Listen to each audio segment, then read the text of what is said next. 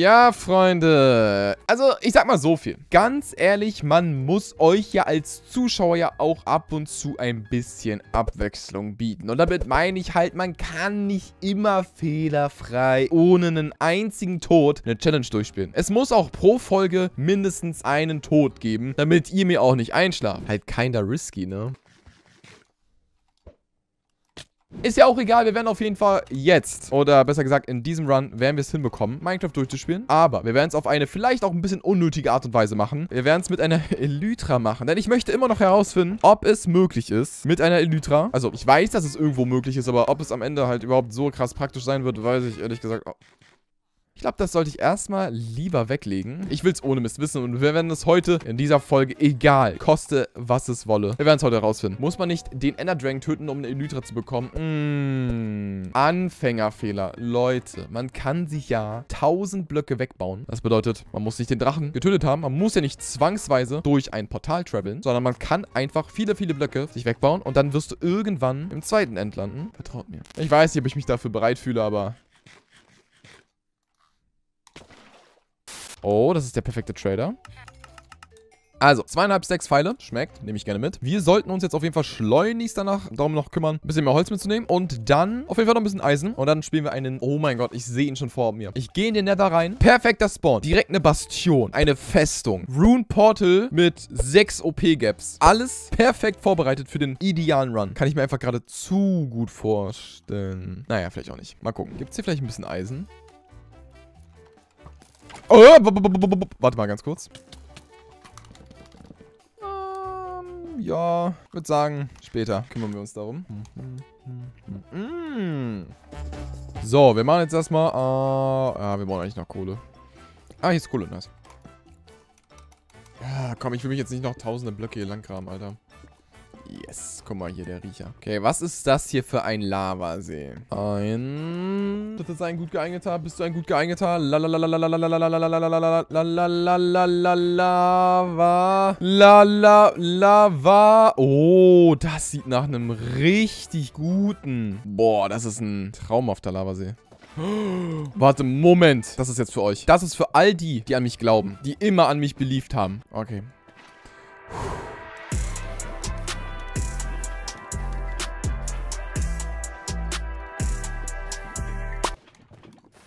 Ich hab das doch... Mm, aber ich glaube, das war okay. Okay, seid ihr stolz auf mich? Ich hoffe. Wir machen uns auf in den Nether, um unseren Plan... Oh, wir haben 20 Eisen. Ja, das ist natürlich auch sehr geil. Dann können wir uns ja auf jeden Fall nochmal eine Eisenaxt machen. Und vor allem können wir uns nochmal eine zweite Eisenspitzhacke machen. Aber dann sollten wir uns auf jeden Fall... Ja, okay. Also das muss ich schon machen. Ein Eisen muss nochmal gesmeltet werden. Rein in den Nether. Warte, ich sehe den Spawn, ich sehe den Spawn, ich sehe den Spawn. Instant Festung, Instant ja, geht, I guess. Ich muss auf jeden Fall gu gut darüber nachdenken. Ich darf nicht essen. Ich darf nur essen, wenn ich mir darüber im Klaren bin, was das für Auswirkungen haben kann. Alright. Oh, ich sehe eine Festung. I like that. Aber wir gehen zuerst, würde ich sagen, in den blauen Wald. Wir machen uns einmal ein Goldpiece, um erstmal safe zu sein vor den bösen, bösen Monstern. Und dann holen wir uns mal ganz kurz, bevor wir die nächsten MGs machen, ein paar Weins.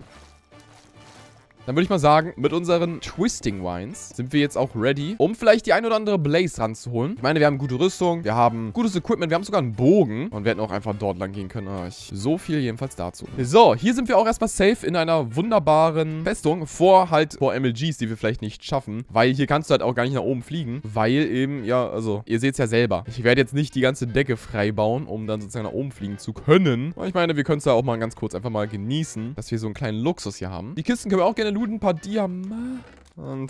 Nehme ich auch immer eigentlich gerne mit. Okay, aber da... Oh, da sind mindestens vier Dias.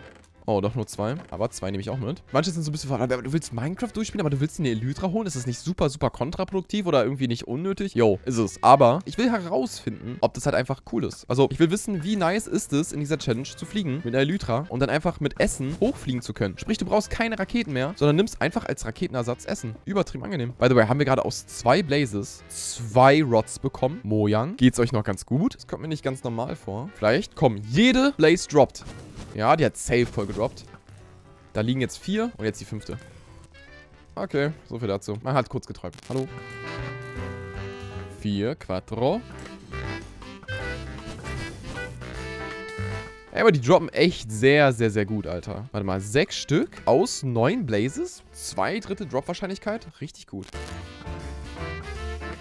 Acht Blaze Rods. Fertig. Finito Bandito. Warte mal, wir haben acht Stück aus elf gekillten Blaze Rods. Oh, okay. Jetzt natürlich die Frage, wie holen wir uns die Enderman ran? Enderman könnten wir über den Warp Forest holen. Könnten aber auch sagen, Piglin Trading. Piglin Trading wäre aber nicht so cool. Piglins geben dir in den neueren Versionen nicht mehr so viel Enderperlen. Deswegen lassen wir das, glaube ich, lieber. Und gehen einfach in den Warp Forest. Ich glaube, das ist die schlauste Taktik. So, Nummer eins. Bitte, ey, wenn es mit dieser stabilen Droprate weitergehen könnte, ey, ich würde mich sehr freuen. Alles klar, so viel dazu. Danke. So, wie sieht's mit dir aus? Hast du Bock? Warte, erstmal kurz essen. Wundere dich nicht, dass ich... Ich bin sehr sprunghaft. Oh, ich sehe hier einen Doppelpack. Man muss abwechselnd die immer wieder hitten, damit sie am Ende die auch droppen. Genau. Äh, ja, ich würde sagen eine. Besser als keine.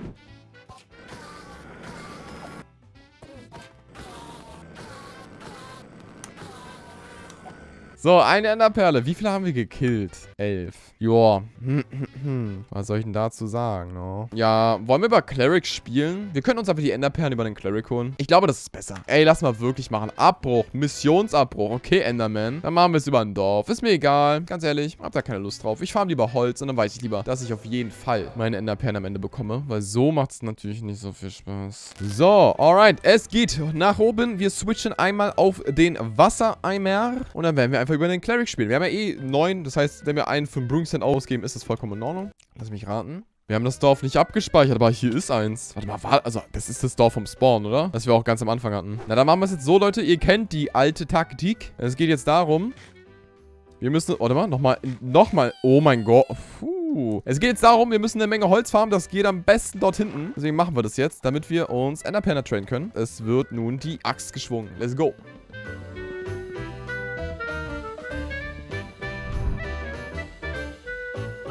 Glaube, wir können jetzt auf jeden Fall schon mal herausfinden, ob wir einen Enderperlen-Trade bekommen. Nehmen uns das Gold. Kann uns nämlich auch noch mal ein bisschen was ersparen. Also, 1, 2, 3, 4, 5, 6, 7, 8, 9. Mm, zu oft. So, Lapis. Zack, zack. Dann 1, 2, 3, 4, 5, 6, 7. Und dann einmal Gold-Trade. Okay. Danke dir, Bro. Das ist natürlich eine ganz bittere Pille. Wir müssen unseren Plan ein bisschen abändern. Ich glaube, es gibt keine Villager mehr hier im Dorf. Deswegen machen wir einmal den hier klauen mal die Workstation. Aber ich glaube, was wir jetzt machen werden, ist, wir laufen in die Richtung des Strongholds, weil wir können uns ja ein Enderauge machen. Das machen wir. Nehmen uns nochmal die Warzen mit. Den Ofen, meinetwegen auch. Dann nehmen wir das. Und dann werfen wir einmal das Enderauge. Und dann wissen wir ja, in welche Richtung wir laufen müssen für den Stronghold. Und hoffen, dass wir dann auf dem Weg zum Stronghold ein weiteres Dorf finden. Mit ein paar ehrenhafteren Villagern, die ein bisschen mehr gönnen. Es geht in diese Richtung. Bitte geh nicht kaputt. Südosten. Ich habe irgendwie schon damit gerechnet, dass es instant kaputt gehen wird. Alright, it's time for an MLG. Oh, oh, ich habe Angst. Das wäre natürlich jetzt doppelt bitter. Nach dem nicht so stabilen Traden wäre das eine bittere Pille gewesen, wenn wir jetzt nochmal von vorne anfangen müssen. Oh, warte mal, ist das... Oh, das passt perfekt genau in die Richtung, in die wir für den Strong laufen müssen. Haben wir jetzt noch ein Dorf gefunden. Hallo. Ihr könnt übrigens nochmal ein Like da lassen. Aber da gehen wir jetzt auf jeden Fall hin. Wir haben uns wieder sehr viel Holz. Äh, darauf freue ich mich. Aber wir haben auch eine Schmiede. Vielleicht haben wir dort... Boah, ich mal vor, jetzt so drei Dias. Dann haben wir ein Schwert und eine Axt, weil wir dann insgesamt fünf hätten. Ich bin mir eigentlich sehr sicher, dass wir auf jeden Fall Dias drin haben werden. Da wird mindestens ein Dia drin sein. Ich will nicht drüber reden. Enchanter. Könnten wir machen, true. Wir könnten einen Enchanter machen. Lapis haben wir ja auch noch vom Traden. Ich denke, ein Enchanter wäre sogar am sinnvollsten. Und zwar, ihr kennt das. Zack, zack. Not bad. Dort ist noch ein bisschen Eisen. Macht so viel mehr Spaß. Mit Eisenäxten, die am besten noch auf Effi enchanted sind. Ich habe, by the way, Effi gesagt. Na dann, Attacke. So, okay. Der Farmer wird zum Cleric. Und wir machen 1, 2, 3, 4, 5, 6, 7, 8, 9, 10. Zack, klack. So, dann machen wir einmal den. Oh, 1, 2, 3, 4, 5, 6, 7. Bitte, bitte, bitte. Also mach mich jetzt wirklich nicht schwach. Danke. Oh mein Gott, alright. Wir sind auf dem richtigen Weg in Richtung... In welche Richtung geht es denn nochmal weiter dann in Richtung Stronghold? Wahrscheinlich noch weiter Richtung Südosten, ne? Yes. Wehe. Danke. So, auf an die Arbeit, Amigos. Kommt, raus da. Raus da, Kevin, raus da. Hallo, schneller, schneller. Ey, ey, ey, ey, klopf, klopf, Mann, klopf, klopf, klopf, klopf, klopf, klopf, klopf. 3, 2, 1. 2, 1, 1, 0,5. So, du bist bestimmt viel sympathischer. So, gib du mir mal die restlichen 8. Erstmal so, zack. Dann würde ich sagen, meine Damen und Herren, wir machen uns auf in Richtung Stronghold. Und dazu geht es in diese Richtung. Okay, das wird wohl wahrscheinlich ein Ozean-Stronghold. Oder... Ich weiß nicht, mal gucken. Ja doch. Wartet mal. Noch weiter in die Richtung. Okay, ab jetzt müssen wir auf jeden Fall aufpassen. Aber wir werden den Stronghold gleich sehen. Ich bin mir sehr sicher. Links. Habe ich es übersehen oder was? Oh mein. Ah! Haha, okay. Ich glaube, es könnte eine Bibliothek sein. Also es ist wirklich die Bibliothek. Ich glaube, die Bibliothek ist halt immer dieser größte Raum. Pass auf, guck. Guck mal, ey, man könnte denken, ich habe echt Ahnung von dem Spiel. So, was haben wir denn büchertechnisch im Angebot? FI4. Ja, damit lohnt sich das auf jeden Fall, sag ich mal, ein paar Blöcke zu farmen. No. Alright, danke. Nimmt man gerne mit. So, wir müssen by the way hoffen, dass ein Auge schon steckt, weil wenn nicht, haben wir ein Problem. Wir nehmen by the way mal Eisen mit. Wir brauchen auch nochmal einen Anvil. Hallo? Ähm, oh, okay. Warte, ich kann einfach so zurückgehen. Ja, äh, du, man muss manchmal auch die Challenge zu seinem Vorteil nutzen. In der Pelle? Zwölf Augen. Ich sag euch nämlich, es wird nämlich auch kein einziges stecken. Hier ist der Portalraum, by the way. Guckt, seht zu und lernt. Man muss einfach nur... Oh, hä? Oha, sogar zwei Augen. Not bad. Also wirklich nicht schlecht. Gut, was wir jetzt machen werden, ist vorbereiten. Oh, wir haben zu wenig... Wir haben kein Holz. Vielleicht sollten wir uns noch Holz holen. Wir gehen einfach mal jetzt runter. Aber wir haben halt ehrlich kein Crafting-Table, was echt ein bisschen belastend ist. Holz im Nether? Könnte man machen, ne? So, vier Stück stecken. Wir brauchen noch acht. Also, machen wir es einfach mal so. Das ist schon mal da. Portal ist auch angegangen. Trick 17. Ne? Manche wollen mir nicht glauben, dass das so geht. Das geht auch. So, dann können wir rein theoretisch das gleich auch alles nochmal wegwerfen. Aber wir gehen erstmal jetzt hier ganz kurz rein. Sehen hoffentlich direkt mal Bäume. Und haben auch dann direkt Holz. Und dann geht es als nächstes darum, einfach ein bisschen effizient zu farmen. Also Steine. Ich weiß, ist langweilig. Wir werden ein bisschen Dias holen. Noch ein bisschen Eisen für den Anvil. Und auf jeden Fall Blöcke, mit denen wir uns dann halt in die End-City bauen können. Wir brauchen ungefähr 1000. Aber da müssen wir jetzt halt leider durch, Leute. Leute. Wir werden es schon hinbekommen. Wir werden es vor allem auch überleben. Das kriegen wir schon.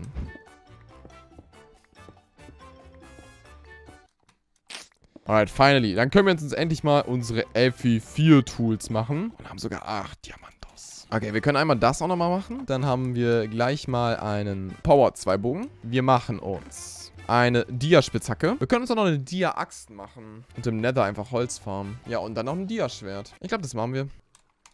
Wir machen es so. Und dann will bitte, por favor. Power 2 Bogen. Und jetzt wird es ganz lecker. FI4, FI4, äh, Sharpness, Sharpness 1. Okay, das ist schon mal gut. Dann farmen wir uns, I guess, ein bisschen Holz im Nether, um uns auf jeden Fall stabil rüberzubauen. Weil mit FI4, das kann ich euch sagen, ballerst du hier durch diese Bäume sehr angenehm durch. Und jeder Stack wird halt dann am Ende 64 Blöcke sein. Und das kannst du nochmal mit 2 multiplizieren. Dann hast du die Slaps. Kelp, um mehr zu fliegen, wir werden mit Chorusfrüchten fliegen. Oder kann man Chorusfrüchte eigentlich immer essen? Ich glaube schon, oder? Ich bin sehr gespannt. Es kann sein, dass die Materie damit gesprengt wird. Hoffentlich nicht. Ansonsten wäre natürlich Kelp auch keine dumme Idee. Wir haben ja eh Kelp in der Nähe. Wir können ja nochmal Kelp mitnehmen, wenn es euch glücklich macht. Wirst halt teleportiert. Ja, das ist ja die Frage. Warte mal. Wenn ich teleportiert werde, werde ich dann an der Stelle, wo ich hin teleportiert werde, 30 oder 40 Blöcke in die Luft geschleudert? Oder werde ich erst in die Luft geschleudert und dann teleportiert? Oder passiert eventuell gar nichts? Bevor ich sterbe, so instant an Fallschaden, weil ich so irgendwie... Oh Gott, nein, ich will gar nicht dran denken. Ich will wirklich nicht dran denken. Alright, ich denke, wir sind ready, meine Damen und Herren, um den Enderdrachen eigentlich zu töten. Aber Enderdrache, nimm es mir nicht persönlich. Aber ich habe ehrlich gesagt einfach gerade nicht so Zeit, los Termine, dies, das. Du weißt, wie es läuft manchmal. Busy Day und mh, hm, man kann halt nicht immer. Du holst dir echte Elytra. Ja, das war ja kein Joke von mir. Ja, wir sollten, by the way, bald da sein. Wir sind fast bei 1000. Juhu, End-City. Alright, auf geht's. Moin. Das ist das Gefährliche. Ohne Kürbis. Ah. Alles gut. Es ist ein Timing. Also es ist eine Timing-Frage.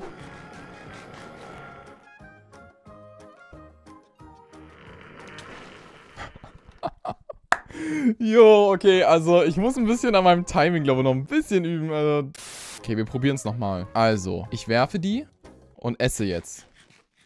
Und ich sollte vorher landen, ne, während ich noch in der Luft bin. So kann man natürlich clever spielen. Nur es hat immer wieder eine Time-Frage. Und ich verliere halt immer wieder wegen dem... Also ich verbrauche halt voll viel Essen, weil ich halt Schaden bekomme. Und dann halt immer wieder neu regeneriere. Wir finden ja bestimmt bald eine End-City. Oder ist Kokosfrüchte? To be honest, habe ich ehrlich gar keinen Plan, was dann passiert. Wollen wir mal eine Kokosfrucht essen? Vielleicht ist eine Kokosfrucht the way to go. Wir essen und müssten eigentlich teleportiert werden in die Luft, aber wir werden auch wegen der Chorusfrucht zuerst teleportiert. Dementsprechend könnten wir die ganze Zeit nur Chorusfrucht essen und werden von der Challenge befreit. Ja, wir werden die auf jeden Fall dann mal vielleicht essen, wenn wir mit einer Elytra in der Luft sind. Weil das Gute ist, ihr seht es, man kann sie immer essen, was ganz praktisch ist.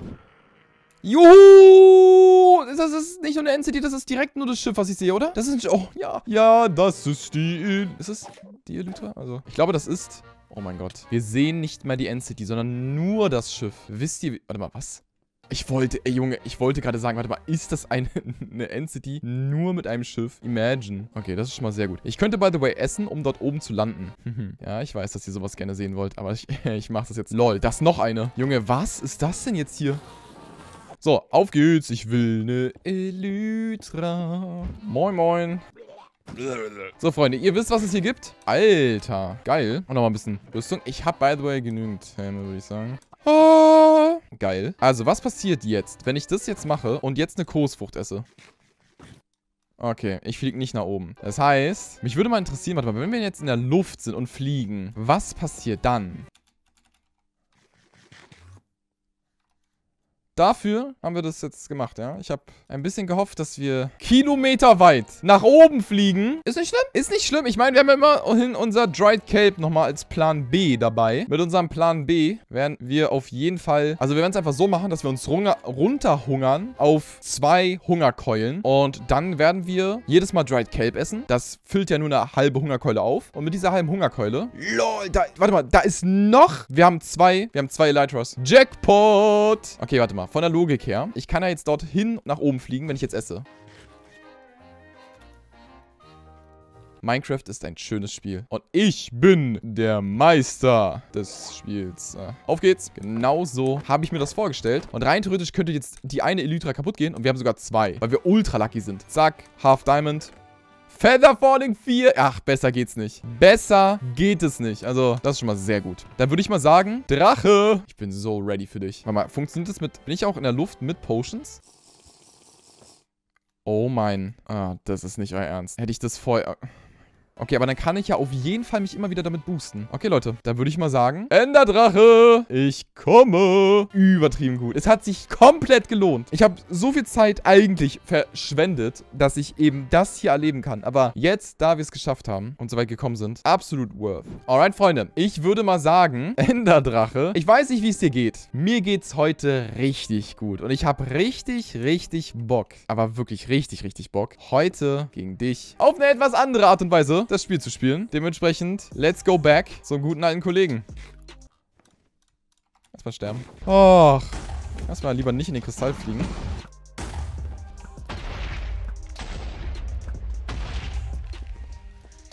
Falls ihr mich fragt, ob es Spaß macht, es macht Spaß. Moin Drache, wie geht's dir denn so? Wollen wir uns mal vielleicht auf einen, weiß ich nicht, auf einen Kampf auf einer Höhe einlassen? Dann sage ich mal, ab geht er. Also jetzt einmal die andere Lüte reinmachen. Jetzt macht es natürlich auch nicht mehr so viel Spaß als Drache, ha? Wenn der andere auch ein äh, Drache ist. Oh, ich bin schon wieder auf dem Boden. Enderdrache. Mm. Oh, aber jeder Schuss ein Treffer? Was ist denn los? Moment. Oh, es ist ja viel leichter, dich so zu treffen. Was? Euch, euch tut gerade der Drache leid? Ich finde, dass wir uns das jetzt mittlerweile hier absolut verdient haben. Junge, er kommt nicht zu einer Perch, Junge. Ich treffe alles. Das ist insane. Lieber Drache, ich würde sagen, interessante Challenge würde ich auch sagen. Und es ist erstmal geschafft, meine Damen und Herren. Zwei Stunden, 57 Minuten und eine knackige Sekunde haben wir gebraucht, um dieses Equipment ranzuholen und um den Kollegen zu töten. Ich hoffe, euch hat das Ganze gefallen. Wenn ja, lasst auf jeden Fall gerne eine positive Bewertung da. Abonniert sehr gerne diesen Kanal, um keine weiteren Videos mehr zu verpassen. Und dann würde ich mich sehr, sehr, sehr freuen, wenn wir uns beim nächsten Mal wiedersehen. Und äh, ja, euch nur das Beste. Mom. Ähm, hat keiner gesehen. Wir machen es lieber heute mal auf eine coolere Art und Weise. Bis zum nächsten Mal.